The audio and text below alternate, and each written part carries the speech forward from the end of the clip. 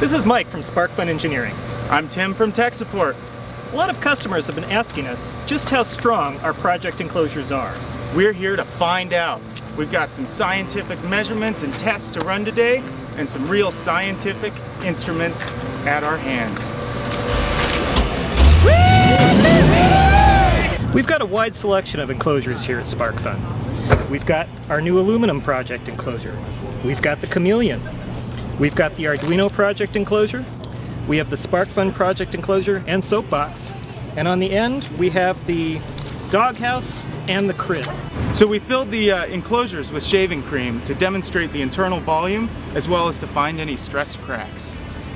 Three, two,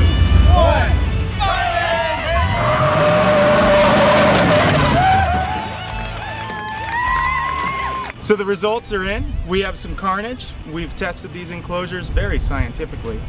And as you can see, most of them did not do very well, except for one, the new aluminum project enclosure. In fact, it did so well, we're going to try it one more time and see if we can't squash this thing.